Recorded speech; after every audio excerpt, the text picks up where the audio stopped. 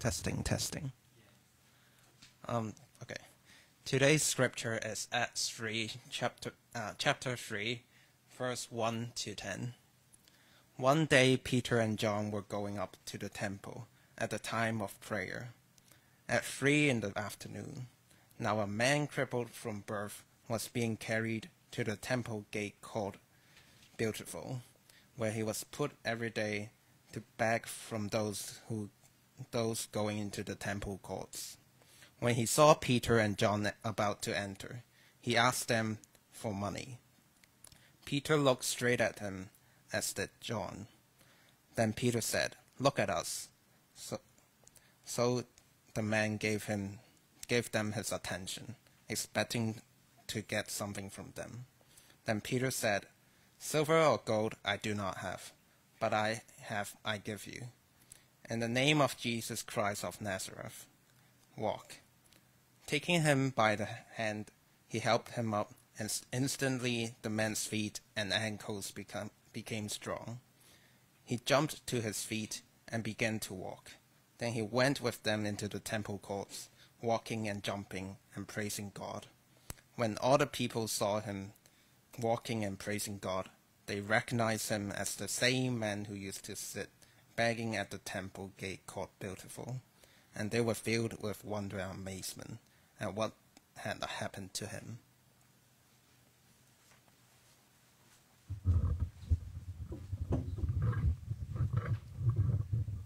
Thank you, Martin. And today we have uh, Reverend Susanna Kong to uh, minister God's word to us.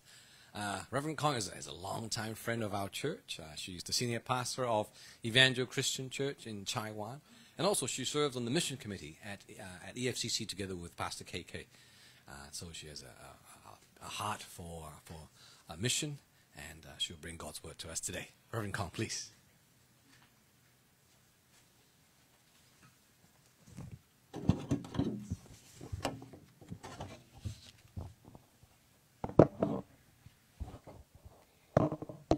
Good morning, brothers and sisters it was such a good uh, opportunity to come here to worship with you all.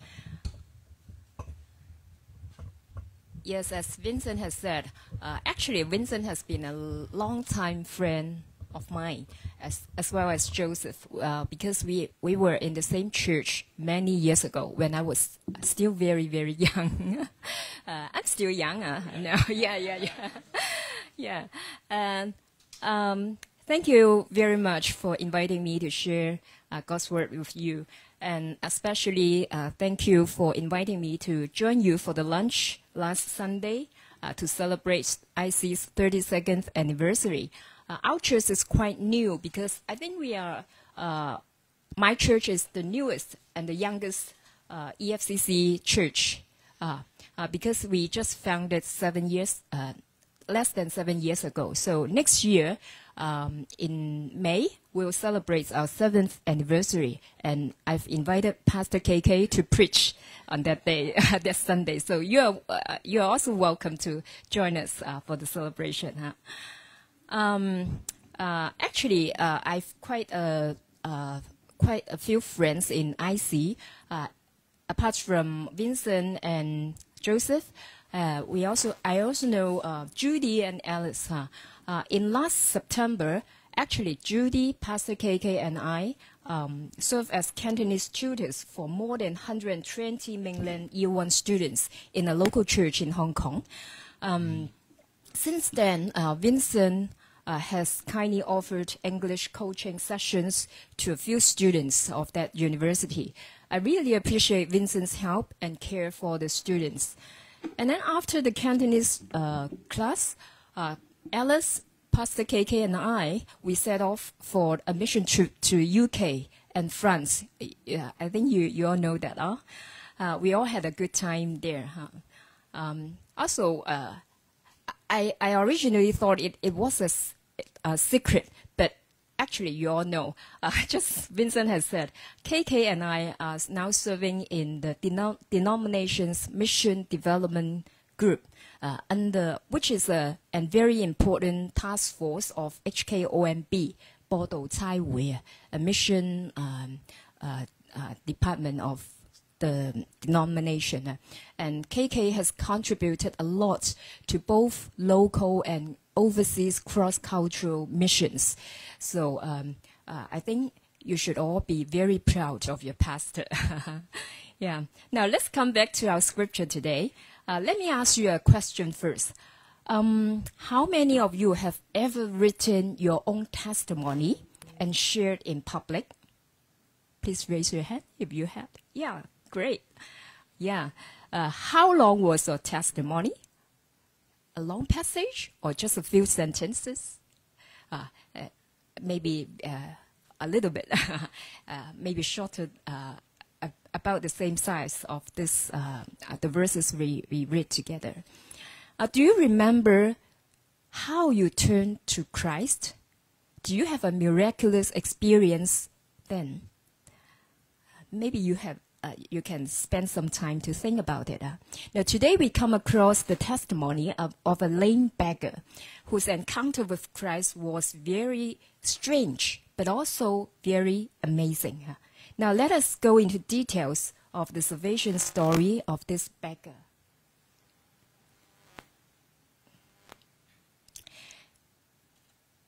Now, when you're about to write your testimony, I think the church elders or Pastor KK um, may have taught you the three point approach, right? That is, number one, before, what your life was like before you surrendered to Christ. And then number two, how? How do you come to salvation in Jesus? And then number three, since. How has your life in Christ made a difference since your conversion? So we'll follow this three point outline to see how this lame man was transformed. Now let us look at the testimony of the lame beggar. How was his life before conversion? The verse 2 to 5 uh, said that now a man who was lame from birth was being carried to the temple gates called Beautiful where he was put every day to beg from those going into the temple courts. When he saw Peter and John about to enter, he asked them for money. Peter looked straight at him, as did John. Then Peter said, Look at us. So the man gave them his attention, expecting to get something from them. Now, from the scriptures, we can see that these lame beggar's disability was inborn, right? He was lame from birth. And he was taken to the temple gates by someone else every day to beg for his daily need uh, outside the temple court. Now, many people may have seen him, but what they could give him to this what they could give to this poor man was no more than a penny.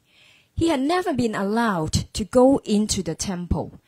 What he could do was to keep begging outside the temple for his life and never had the opportunity to go to worship God inside the temple. We can just imagine this man was a man of despair, struggling for existence only, right?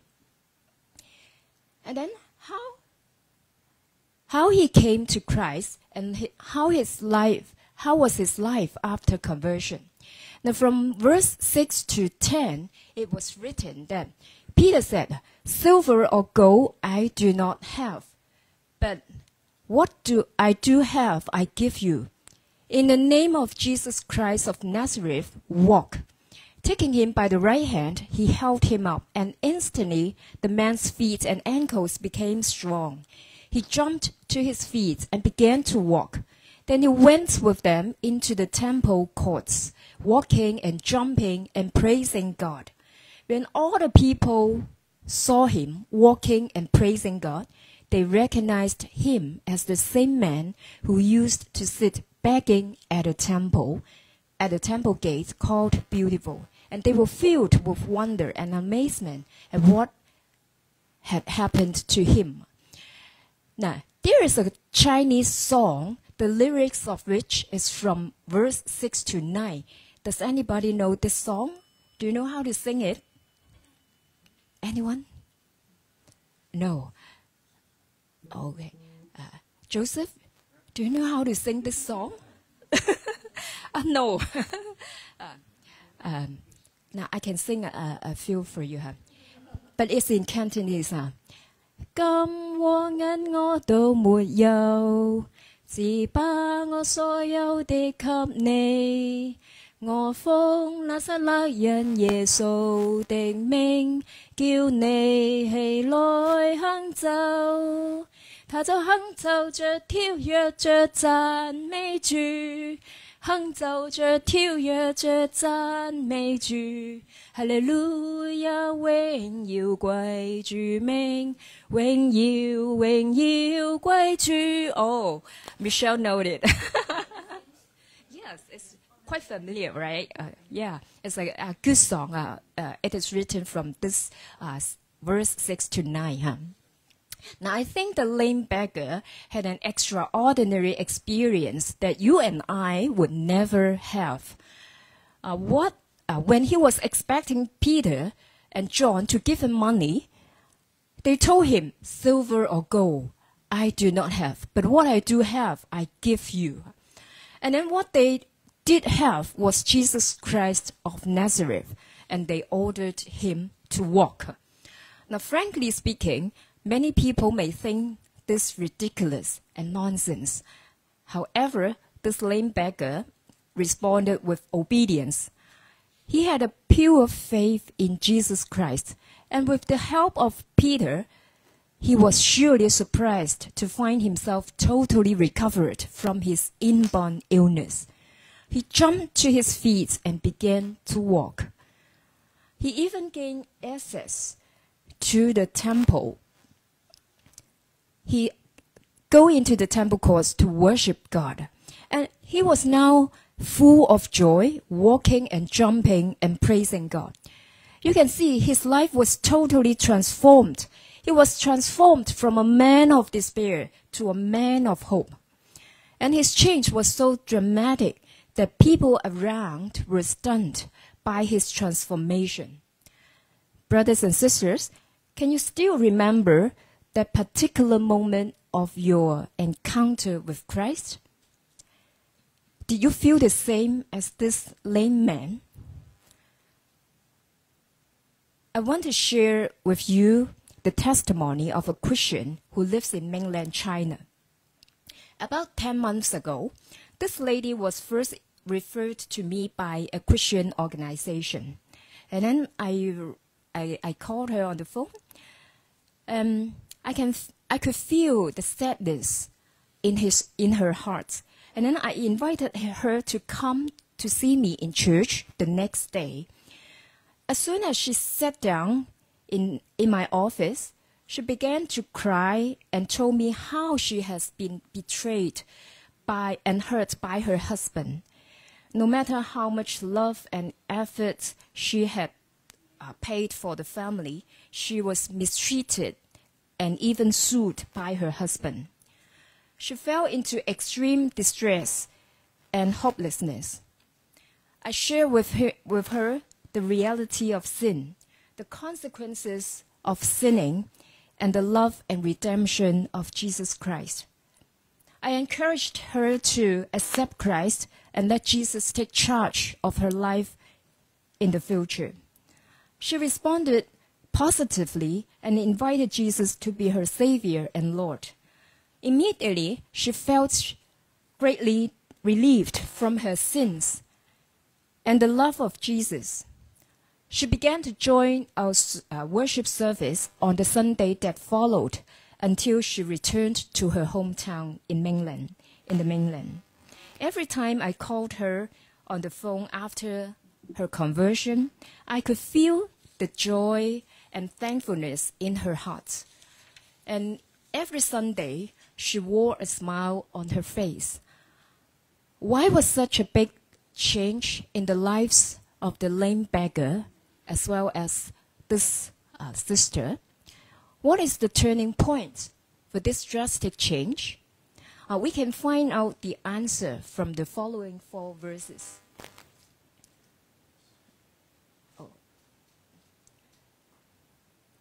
verse 1, 4, 6, and 7 can give us the the answer for the change of this lame beggar and the sister. Now, you know, uh, the devoted Jews will go regularly to the temple to pray three times a day one at 9 in the morning, and then 12 at 12 noon, and 3 p.m. Uh, that means many people should have seen the lame man at the temple gates. But in fact, no one truly saw his real need. They just ignore him. But on the other hand, Peter and John not only saw him, but also took him into their hearts. They saw not only his physical need to be healed, but also his spiritual need, which only Jesus could satisfy. Then they performed a simple but amazing miracle in the name of Jesus to cause the lame beggar to walk. Now, did any one of you turn to Christ because someone asked you to look at him or look at her? Is, is that, did anyone have this experience? I think no. Huh? If someone did this to you, you might think, mm, he or she probably uh, he is probably insane, right? Or maybe you go away immediately. Yeah. Peter and John could see what others could not see. Others only see only saw his physical needs, such as food, money, or need to be healed. But the two apostles could see his spiritual need, that is, his soul needed to be saved from eternal death. Now, Peter and John's true seeing, that is, to see the beggar through God's lens, drove them to bring Jesus into the beggar's life, thus resulting in his total transformation. Now, when the two apostles performed the miracle, I guess they must have also in mind Jesus' great commandment before he ascended to heaven in the book of Matthew and what Jesus has said in Acts chapter 1. Now, in the book of Matthew, chapter 28, it is said that Jesus came to them and said, All authority in heaven and on earth has been given to me. Therefore, go and make disciples of all nations, baptizing them in the name of the Father and of the Son and of the Holy Spirit, and teaching them to obey everything I have commanded you. And surely I am with you always to the very end of the age. And then in Acts chapter 1, verse 7 and 9, he said to the apostles, Jesus said to the, to the apostles, But you will receive power when the Holy Spirit comes on you, and you will be my witnesses in Jerusalem and in all Judea and Samaria and to the ends of the earth. The apostles knew clearly it's with the authority of Jesus that they could heal the lame man. Brothers and sisters, can we always see the needy and their real needs, or we just ignore them or see their superficial needs? Are you hesitated to help those who are in need because you think uh, you don't have the ability to help? I want to share two experiences of mine. Uh, early in the year 2020, when the COVID 19 pandemic just broke out, I had a walk in Chai Wan Park after lunch one day. And then I, I saw two Indian ladies sitting on the ground in a corner of the park. Then I went straight to them and asked, Do you have facial mask for all your family members? And then they say they said no, we don't have. And I immediately promised to give them some and invited them to come to my church. Since then, the family and I became friends. We exchanged our phone numbers, and then they served as volunteers uh, of our church for several times. Uh, they even sent the free kids to join our Awana children's team. We offered Chinese and Cantonese classes uh, to, to the family and uh, their friends to help them cope with their daily needs. Uh, I also visited um, uh, their home with my deacon. Uh, we also organized an evangelistic event before the Moon Festival. Uh, uh, this is the evangelistic event. Both friends from India and students from mainland China had the opportunity to hear the good news of Jesus. I really saw those in need and responded accordingly. Another experience then. Five months ago, we offered a Cantonese class for a group of Pakistani ladies. Uh, and then in the second last lesson, the only student of that class uh, that day told us that for the past one year, she has been scared by a nightmare and she could hardly sleep at night. She also told us the tragedy that her family have faced over the past three years, in which her parents and two children had passed away one by one. The only surviving little daughter is paralyzed and can only live with the help of respiratory equipment. I was then so moved by the Holy Spirit to pray for this lady, but I was hesitant to do so because she was a, a Muslim. Meanwhile, I also doubt if my prayer was powerful enough to help her. But at last, I still took courage to ask her, to ask for her per, uh, permission to pray for her. And then one week later, I asked if she can, uh, she could sleep uh, well at night. She told us with joy that after we prayed for her, she was no longer plagued by the nightmare. Is it wonderful? This special experience of her has paved the way for our home visit to celebrate the birthday of her daughter. Uh, this is the lady, huh? We visited her home and celebrated the birthday with, of her daughter, and we also prayed for the whole family. I know it's not by my power, but the authority of Jesus that the lady could get over from the year long nightmare.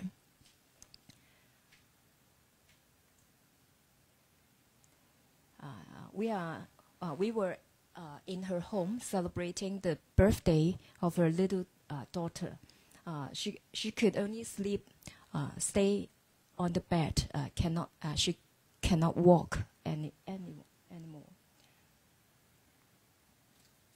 Another example, I think we all know them, the Anglo-Scottish Protestant, Protestant missionary Robert Morrison, uh, who was also the first missionary to China. Um, before he set off for China, someone challenged him. Don't you think you can change China? And then Robert Morrison replied, I can't but my Lord can. Yes, brothers and sisters, we serve our Lord and preach the gospel with the power of God, but not by our own capability, just as Peter and John healed the lame beggar by the power of Jesus. Do you have faith and trust in Jesus? Now, from the conversion story of the lame beggar, I'd like to invite you to reflect on the following three types of seeing. Firstly, can you see the real need of others? Uh, do you see the need of your brothers and sisters in church? I'm so thankful for IC huh, because we can share uh, uh, in the uh, our sharing is part of the uh, worship so that we can know the needs of brothers and sisters and also we can pray uh, for them, uh, pray for each other. Can you also see the need of your neighbors? Your neighbors? Do you see also the needs of those in the community of your church?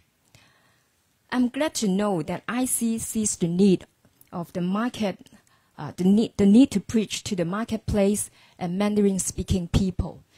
Pastor KK has shared with me huh, why uh, you moved from Heng Fa Chuen to Wan Chai because you see uh, the need of, a, uh, of many marketplace people and also Mandarin uh, speaking people. My churches also uh, have a mission to preach to the Mandarin speaking people. Huh? Number two, do you always invite others to see the power of God? Do you remember when you last preached to an unbeliever? To how many people have you shared the good news? Are you passionate to share the gospel with others? Now, I, I had another testimony which, is, which happened a month ago. On a Monday, you know, it's the holiday of pastors. Uh, usually we, we have day off on Monday. Huh? And then on that Monday morning, I sat down on a bench somewhere in the park near my home, uh, ready to enjoy my coffee and read the Bible with my mobile phone. But suddenly, an old man came by and sat opposite to me. I struggled for a while. Should I go to him or should I stay here and enjoy my coffee and reading my uh, Bible? I struggled for a while. But at last, I went to sit next to him and chatted with him. Step by step, I managed to preach the good news to him. Though he didn't accept Christ, but I was still happy because I've submitted myself to the guidance of the Spirit. This is the man, huh? the old man. Huh? We talk a lot, uh, and but he didn't accept Christ at the time. Huh? But uh, I'll keep praying for him. Huh? I sat here, and then he came to sit opposite to me. yeah, and number three. Can other people see that your life has been transformed by Jesus? Now, some Christians once said to me, uh, when they told their friends or colleagues that he or she was a believer of Christ, the friends or colleagues were so shocked by the news. And then I also heard some Christians say they were asked by some someone they didn't know well whether he or she was a Christian because their life was so different from others. Uh, brothers and sisters, which type of Christian we belong to? Now, to conclude my sermon, I'd like to suggest and encourage you to take three actions as your response to God's word this morning. Number one, to care for others through God's lens, to care those around you through God's lens, so that we can see the need of the soul. And number two, to step out of our comfort zone to share the gospel with others whenever you have the chance. Just as uh, 2 Timothy chapter 4 verse 2 said, Preach the word, be prepared in season and out of season. And number three, to surrender your life to Jesus so that your life can be a radiant manifestation of Christ. Let us pray.